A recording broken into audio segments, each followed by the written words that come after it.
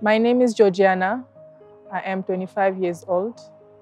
I came in South Africa in 2008. I am currently a social auxiliary student.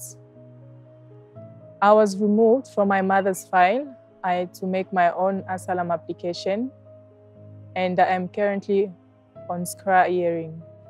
Delinking is a process in terms of the Refugees Act where a dependent of a refugee is removed from the principal file. After someone has been delinked, they are removed from their parents' file and they are given an opportunity to apply independent of their refugee parents and they are issued with an asylum seeker or refugee status.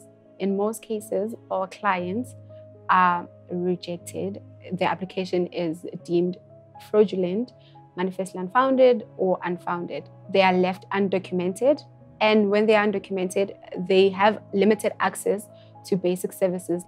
Having to apply for my own asylum seeker has made me anxious because I came here at a very young age with my mom. I have a passion for helping people.